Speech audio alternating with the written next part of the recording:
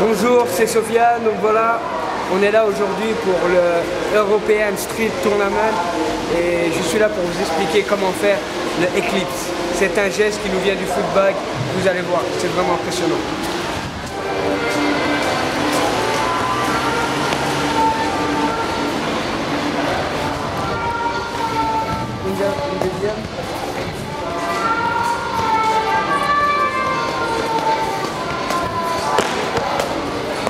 Maintenant, je vais vous expliquer comment faire le Eclipse.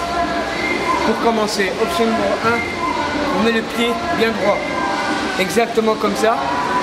Et en fait, on fait un amorti. Donc une fois qu'elle est comme ça, c'est un amorti. Et là, sauter la même chose, mais de le faire sans la main.